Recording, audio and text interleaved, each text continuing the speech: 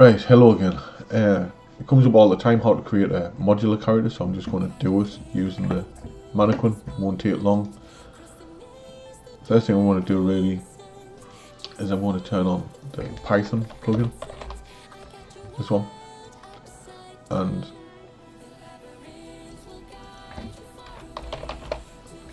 these two here. I'm going to export the mannequin.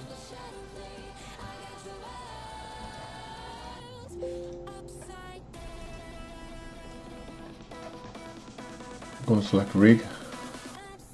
Don't know why I should selected that.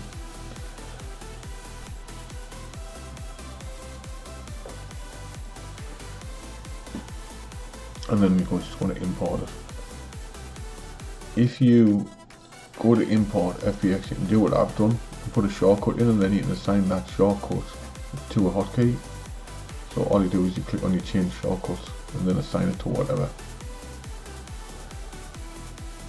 I'm going to hide the uh, skeleton because we don't need it at the moment. I'm going to move this down to mesh. And then I'm going to just cut it up by loose parts for the moment.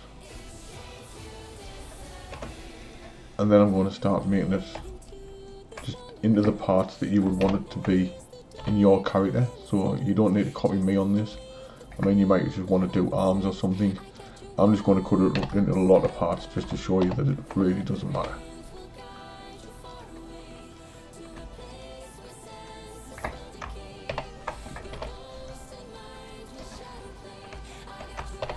So you can see all I'm doing is systematically joining it back together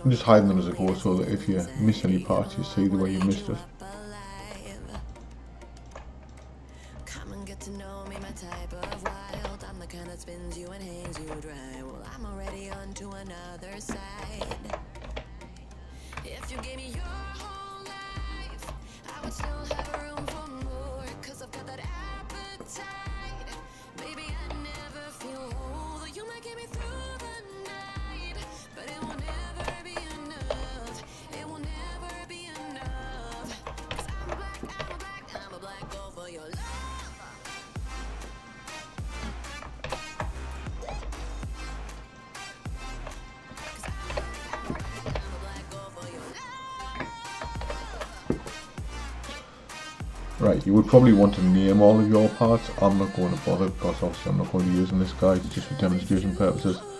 You would also need to um, install the plugin from Unreal. I will leave a link.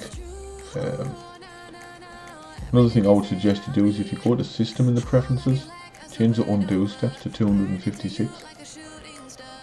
Then you go to add-ons, pipeline, and then we can look at the actual plugin. You've got export and import settings. If you go on import you launch the FBX it'll launch the FBX for each part that it sends to Unreal so you can change the skeleton as it's important or you can leave it unchecked and delete all the skeletons when it's once it's in. I prefer to do it this way. Entirely up to you. Also you're going to want to go to the unit system and change the scale to 0.01 and while you're on you'll probably want to uh, change the um, focal length. The end and the clip start like I have because I believe it goes to 10ish it's all the way in here. I like the 500 set it to whatever you want.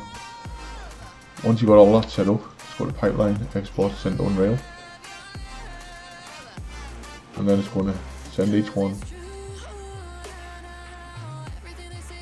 And you're just going to import them straight onto the actual skeleton once it's finished importing all of your parts just go to your third person character well whatever your blueprint is you would go to wouldn't necessarily be the third person. Sorry I'm on a different screen. Right then so I'm just going to add a master a moment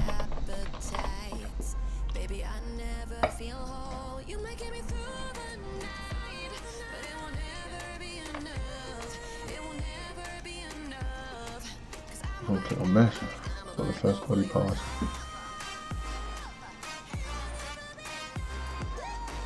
You would want them all.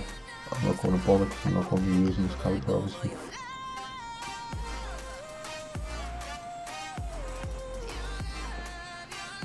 And you're going to repeat this process for every item.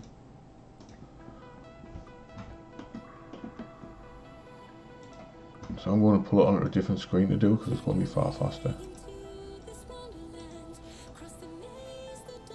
Nobody needs to see me pull in every part. Okay then with all of that done you'll have something that looks like this. So this is all of your body parts. Go down them you can see these body parts. Think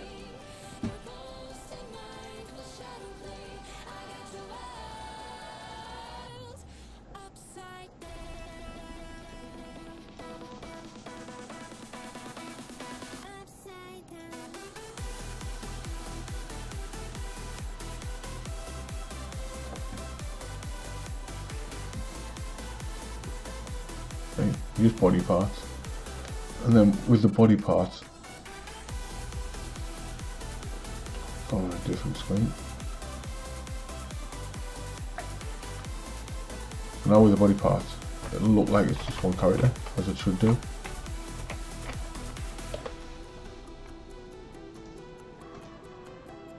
Well it was is independent if I take off something here